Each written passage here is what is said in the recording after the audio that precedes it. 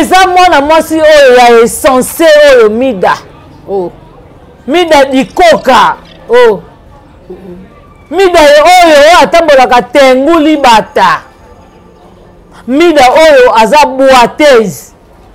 ye moto azofinga mwana bato ya moke luna luna alobi mabe te luna alobi botika kose mesure ngai na mama sila parce que mama sila aza mama abi ntango sila azotourne ngai luna nazala te alors botika kotia nga génération moko na mama sila nayebi te kobenga motu mama lona internet ma mama top tobenga bango mama top ntango koma so babengi sila bisalu mama ebotela mwana wana moke akosi te mama luna aza na 44 ans oh. mama luna aza na 44 ans sikoyo bekam aza na age nini bekam ato fete 50 ans na ye ana amoni yango te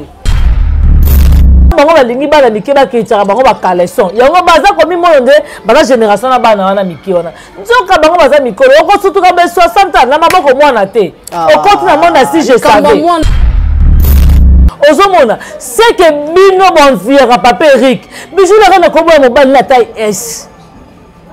ebele mobali na asala ye fierité ahonore na miso ya bato obi libala bijou na reine apesa défi e eh? atya défi na bacomédien libala bijou na reine namoni nanu comédien moko alongo libala bijou na reine te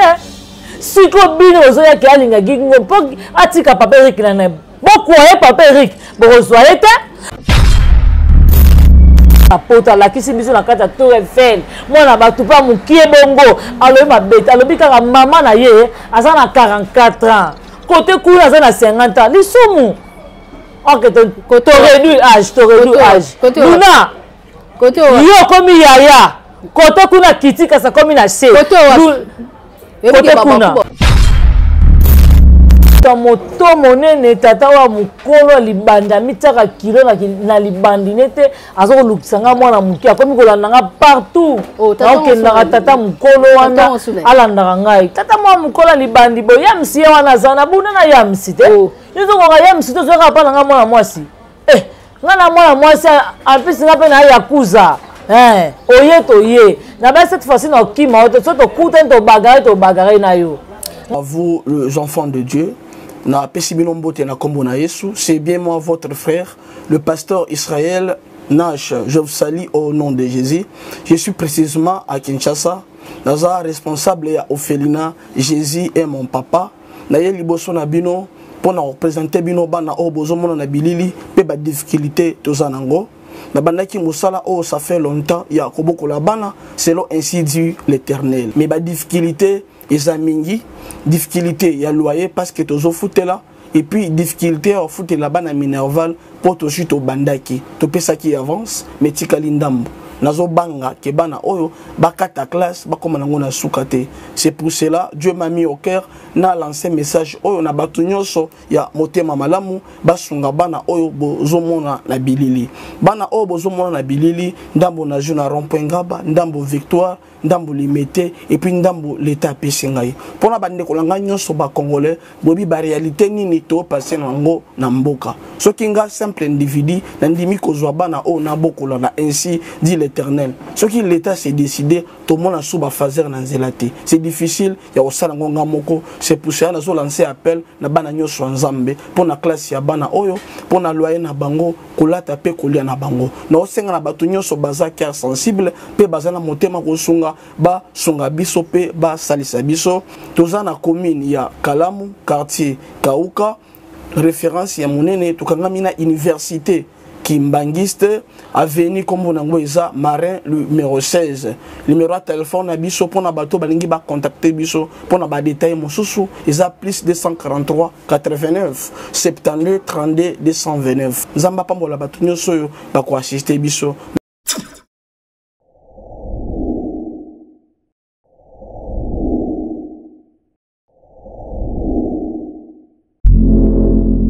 Voilà, et bonjour, bonsoir, ça dépend à Air Bozuli Bisso, Nabi Kebozé, Belle,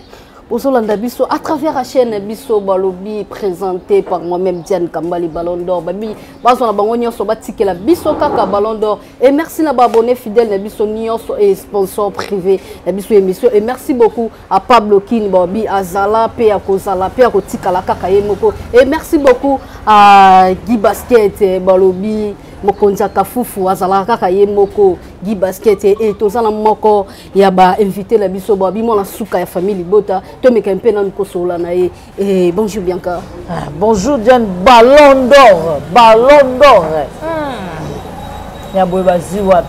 boni santé tous pepela mbetolo il paraît toyoki ke babike bakangaki yo babike baolukisa yo comme si balingi bakanga yo eh, moto ya moto monene tata oyo ya mokolo ya libandi amitiaka kilo na libandi ne te aza kolukisa ngai mwana moke akomi kolanda ngai partout oh, naokendaka tata mokolo wana alandaka ngai tata mwana mokolo ya libandi boyamsi ye wana aza na buna na yamsi te oh. yo tokoka yamsi te ozoyaka mpa na ngai mwana mwasi eh, nga na mwana mwasi en plus nga mpe na yakuza eh, oye toye na basi cette fois-ci na okima yo te so tokutani tobagare tobagare na yo babi toye toye babi toye toye e bianca e bianca tokota mbala moko na actualité e tomoni luna aleki na émission asali émission mais comme si ke eboti mo ba polémique ebele parce que atangi kombo ya sila bisalu par rapport ndenge abengi ye ke abisila aza mokolo aza mama na ye comme si ke kobenga bato mama na ni o oh, na théâtre eza mabe to ndenge nini parce que nazokamwa balon nazokamwa eza mwana mwasi oyo ya esense oyo mida oh. mida dikoka oh.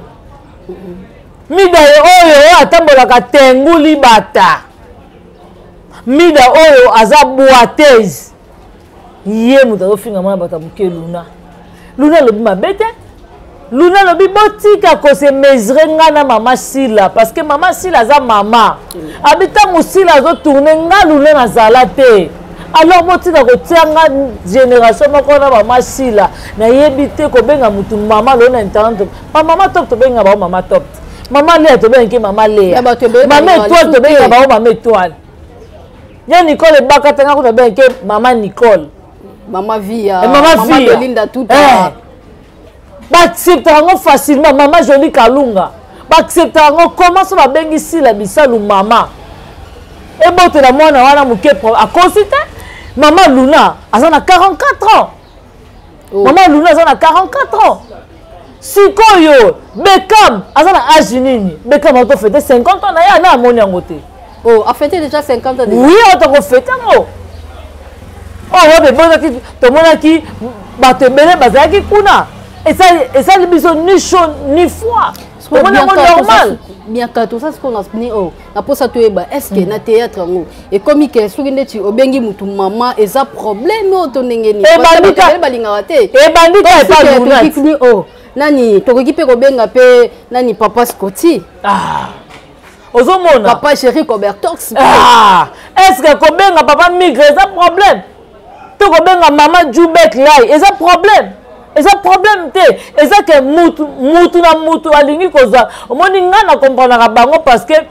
bazosala omoni kolinga bana mike mingi eh? mwana moke ah. eh, olingi nazotambolaka mwana oloba chose vrai omoni kolinga bana mike mingi soki olingi mwana moke mwana moke azokitisa kokala so yare nyonso yo mpo ozomona lokola oza na génération wana mwana wana moke bamikolo wana bango nyonso tolo baza mikolonani parce que tomonaka mpe la duchesse mpe alobaka yaya abike ni o abike bamama ya théâtre balingi na bango bana mike comme si président la duchesse akosa te aloba chose vraie omoni tellement bango balingi bana mike bakeityaka bango bacaleson yango baza komimona nde baza génération na bana wana mike wana nzoka bango baza mikolo okosutuka be 60 na maboko mwana te ah. okoti na mwana si je savemwana yango wana yango nde maneke alobaki ekrelaki problème nazoloba likambo ya solo likambo wana oloba nakosi te makambo wana oloba eza ya solo makambo wana oloba nakosi te bango balingi bana mikie mwana moke akiti okaleson heure nyonso mwana moke amemi na tinel ozwa na bula kokoma mama mokoni yoka ti mingi bazala bango na hotel bango ata na mituka basilanaka na bango kuna ti ozomona sikoyo bango balingi kaka bazala na bavi wana yango omoni luna mwana batanga alobi ke mama kingani bafingi luna to bafingi ye te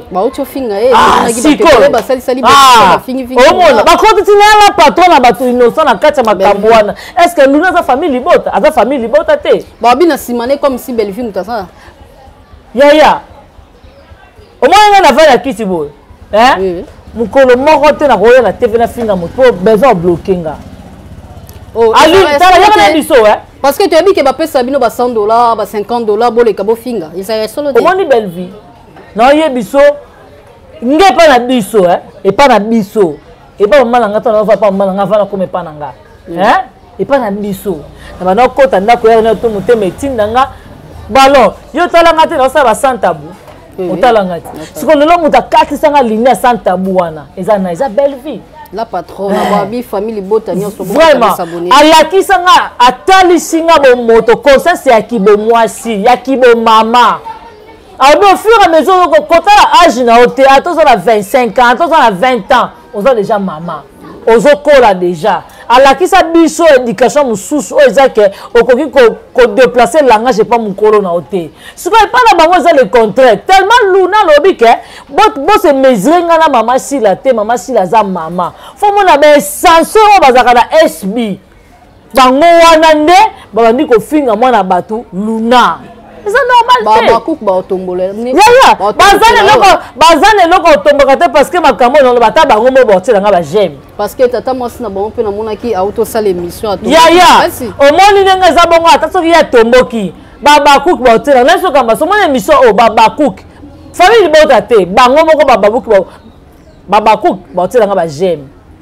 basanga bilanga mwana suka osololi mbokani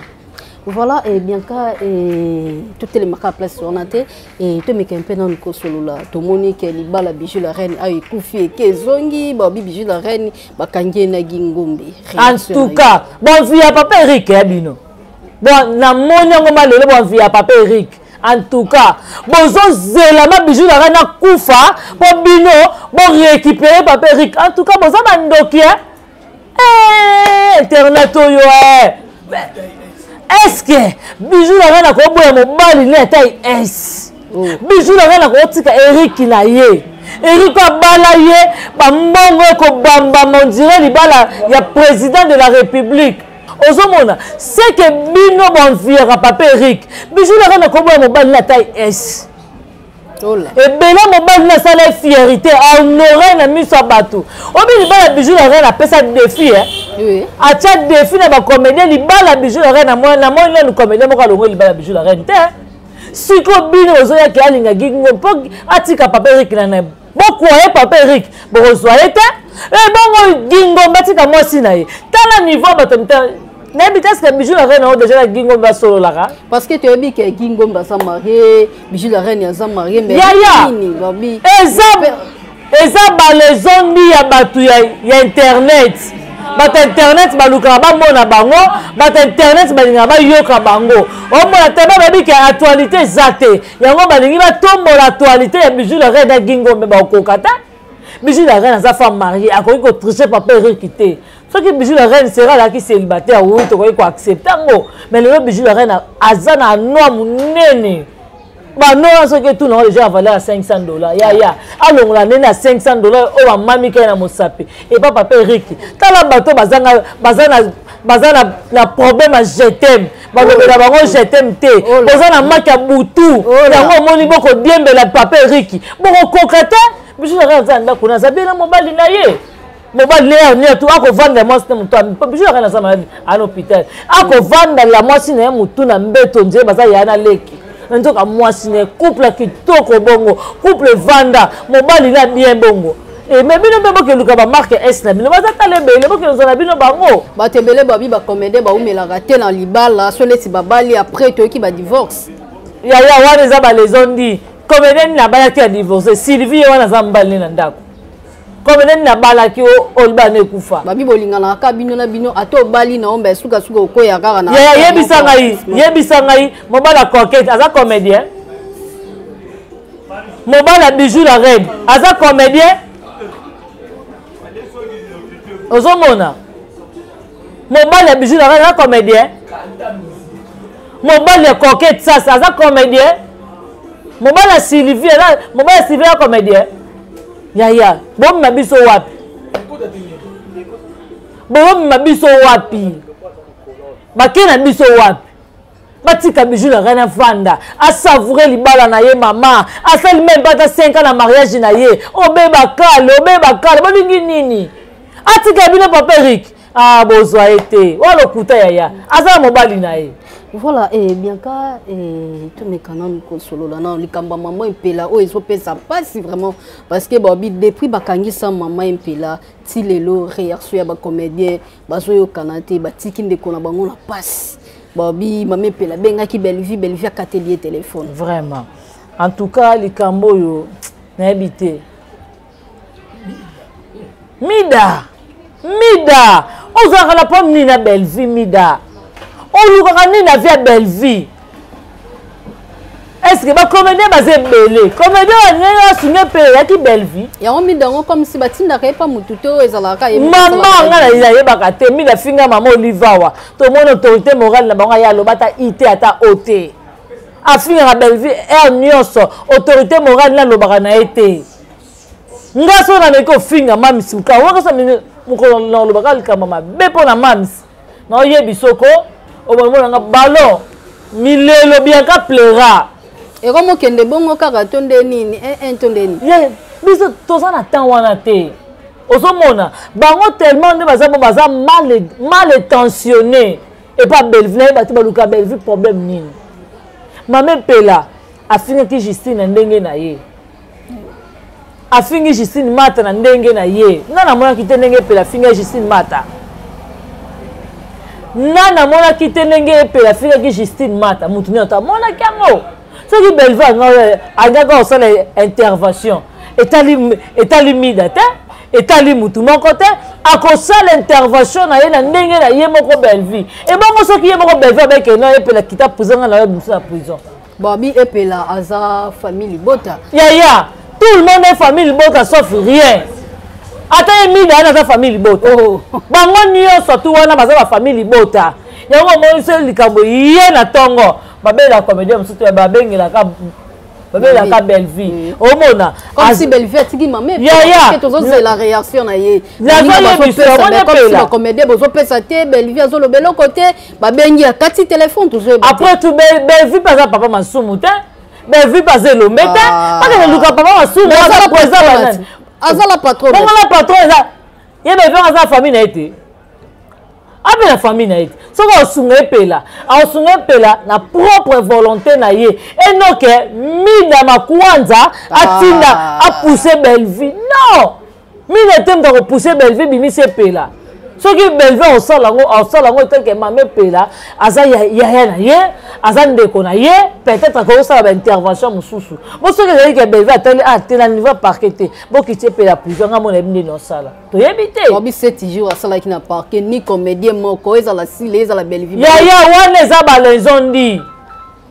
wana eza balezone est ce que bango bamonaki nini oyo balingi basala miso belve ake batya kamera to bafilme mbele nani aketala nani aketala epela na parke non batika kokosela mwa bato makambo mida okokoka belvi te mida priere na nga nzambe mida zika likolo wana etikali ya malamu nzambe ebukana ebukana akoma na chaise roulante nzambe nalekeli mida mabe mais bianca toyebi ke motu soki ndeti aza na problème aza infirme mbe tomonaka bango balobaka kutu bolamu ya bato bazalaka kutu bien comme si ke mida toyebi te aza pousse mpo motu to nazoyebisa mida ndenge aza bongo aza na bato batindikaka mida oyebi ke mida abanga te asimba ex première dame ya, ya rdc mama olive abanga mama olive te mida aloba mabe mpo na mama olive nga nayebi yango te nga natala yango te bino nyonso oh, bapesaka bino mbongo yaya ngai belolo alobaki yango abi bino nyonso bapesaka bino mbongo ye moko kuta afingaka mama bango mekano maboko makasi akabaka te oh. moto ba 20 dollar kaka oh. alingi ye moko mpo alingi ye moko misilolo alingi na bakoma mpo adina na mpo alingi Oh, azolinga longa na sbek epa dina na mpona nini po akabaka te maboko makasi mekano oh, alinga koma pa dina oh, okomona kala mingi te azolongwa sb akoma pa dina na akoregrete mpona nini aza koto yo bakabaka te boye na boye belva akofuta motu mbongo jamais afingele motu jamais okoki kofinga motu epa bellevie epa bellevie ezalaka mama soki okoti na chaine na biso nani alobaki yango oyo batongaka yoka na ye biso eh kota na bachaine na biso moko makende na caroline eh? yeah. kende na, na, na, na géri cobeto 227 de la presse kota kuna kota na bianco officiel kota epa teka kota epa chema ibele okota epa remi okomona promotion ya filme na promotion ya filme nde ezala na kati kuna soko omeki kaka na ngiba yaya yo na ye abupia mpo atindaka motu te lelo soki bakangi yo na parke okose defendre yo moko mpo ngai te natinda yo finga nga nalobaka kaka sala promotion filme nga filme ekota fara fara tokomi na eh, nave epito elekaki lobi topesi atere bo azuaki boye mutu bo alobaki boye mutu boye esukeli biso me soki yo oye nango ofinga mutu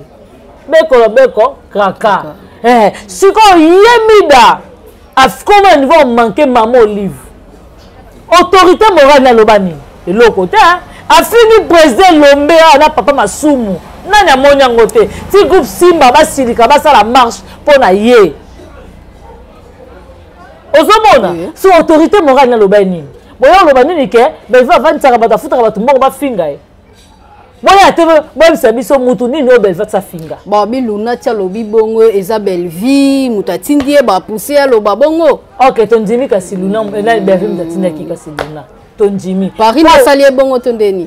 mpo kangi foto na tour eiffel yango nde yaya alakisi mamida bosalaka émission na bachambre na bacuisine boya na tour eiffel ape bango devoir ya domestique bakenda mpo tokala bango na bayesi depanama te bakende te na nini nayebi te bango bazalaka na bafrance to babelgique soki belgique babengaka nini ya belgique babengaka yango nini eh, nini ata na chateau rouge bakende te ata na wenda chateau rouge baleka ata kolekaka ya pamba bakoleka te mpo bakokanga bango baza mikanda te ah. sikoyo tokoloba nini luna ye wana aza na poto alakisi biso na kati ya tour eiffel mwana bato mpe amokie bongo alobi mabete alobi kaka mama na ye aza na 44 ans kote kuna aza na 50 ans lisumu ok to, to réduit âge to réduit âge luna kote yo okomi yaya kote kuna kiti kasi akomi na se kote kuna kote kuna tokiti na 20 ans luna azwi 50 kasi luna oza na 50 ans luna ndima luna azwi sikoyo 50 ans wana kala cosmétologue réparatrice ya loposo toye lisusu na baproduit na biso sans hydroquinone fait à base ya bafruit c'est naturel awa ah, toza na teint métis na biso mpo na basi ya pembe mibala pembe yo motu pembe na yo ebeba egata kima mbangu osalela te métis na biso solution yango oyo eye ata wana mafuta mpo na bato ya mwindu bato ya shokola oza mwindu shokola kima lombango mafuta na bino yango oyo fa baza bafruit tozali na crème réparatrice mpo na bato nyonso baa na problème ya tampon cancer de peau nduta oyo oh, bandeko boya mbangu tozali na huile d'anana huile d'anana ezosunga makasi fe ya base ya nana bandeko na ngai bokosepela makasi tozali na gommage café na euh, lotion tonique mpo na bato ya babouton bato ya bagrèce soin de visage bokima mbangu ekosala biso bien du nouveau ya kinshasa pomade anti sola mapeka yo moto obotama na sola mapeka alors kima mbangu dans deux jours apamba sola mapeka ezosila savon na biso yango mpo na douche ekosala yo kitoko ezolongola basalite nyonso to mikusa na nzoto en tout cas okosepela balobi mama mika cosmétique aye lisusu ayeli biso beauté d'une femme beauté d'un garçon tozali na machine ya perruque confection perruque na 4 dollars ya pamba oh, alors pétage suka na pétage solution yango eye baproduit na biso eza naturel numéro na biso plus 243 89 98 27 674 toza na komi na kalamu quartier matonge avenue pozo numero a17 référence cabina courant bye, bye. ozomona tellement siko yo luna tellement ya boyi nayeki mama luna yo zwa 50 ans na ye wana luna yo mema ye a partir ya lelo tobenga ke bebe lili oh, me o ntango mokolo azoboye ntango mokolo aboyi na ye komizala mama tobenge nani bebe lili bebe lili bebe lili oh non mama non mama non ah, voilà bianca e eh, ah. bandeko na biso joli kasinda aza na mpasi hmm. septième bagare aza na mpasi bato bazotalela belle vie parce que babi belle vie apesaka la patrona ah mwana oyo nzambe asunga mama malamu bato bazotalela ye belivi azoloba eloko te noki mpasi na poso olela noki vraimen mpasi na poso olema miso etamboli nga omoni babelvi wana so okombatre ye nzambe akombatre yo mm. belvi aza motema malamu asalaka ngo te na vantard te asalaka ngo mpo nzambe apamboli yo nzambe abi ngai napesi yo pesa baninga mm. eh, tomonaki déjà nani déjà opération dase elekaki epuis tomoni mpe bakotambusa déjà basali déjà eh, koma groupe moko boza mpona bandeko bazotya deja mwa lisungi mpona bango mpona joli kasima epuis baosala mpona nani mpona eh, ndeko na biso ya mwasi 7 baga bandeko na biso tokotika bango te ya malamu ezaka tozobondela makasi mpona bango tozosenga nzambe oyo ya mawa oyo asala coopération sans cicatrice donc aza toujours likolo na bango eloko kaka tosenga yango wana mai batika kolatisa belve kulusu belve omoni mutu na mutu na monde oyo aza na famille na ye bellevue mpe aza na famille na ye aza na bandeko na ye bellevue wana aza na tata na ye malgré tout tata aza te mama aza te ma aza na batata mwasi aza na banoko na ye ozomona ata na biso famille libota ata asusu na bato misusu oti komemise kulusu bolongoli na minati bokomona ete na makambo charge akolata te mokonzi na biso nyonso mokonzi na biso nyonso pa masumu papa masumu jour wana alobaki yango deja alobaki deja abi ke mpo na ye eza ke alingi te alingi te bacomédien mosusu bazala na mpasi mbe fo batia lisungi est ce que bino moko nanu bozalaka ata te ke bakeluka ministre babengaki ministre art Eh, bakende oluka ye biro eza na hotel de ville nayebi te soki na hotel de ville to wapi bakende oluka ye peut-être ye nako osunga bango bakomene belvi aza na eloko te mwana bato aza na eloko te ye moko ata na maison afuta mbongo afuta ya ville afuta oyo ya awa afuta afuta ya kasavubu afuta oyo ya lingwala eh? supermarché mpe yango wana ekofongwama na station bolingi nini na vie ya bellevie botikitala te apesa bango asalisa bango omoni na mokili eh? mm. omoni soki omimonaka pamba mm. diane omoni soki ngai namimona amona ko kano mm. diane namona ko oza sommet eh? yebaka nzambe anokiti anga anotombola yo motu na motu soki na mitv amiyebi role na ye akobeta bellevue kara bobi bellevue abotola bayaye ebele na place wana mais baza bezaubatezaubaka bango bateka bokulutu na bango likolo ya matembele oh. eh, bateka bokulutu likolo ya biloko ya kolia